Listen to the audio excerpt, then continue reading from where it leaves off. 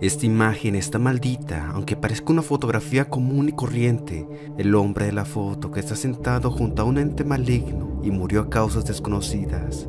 Ahora me está pasando a mí, aunque la borres o la ignores, la maldición ya está con solo verla.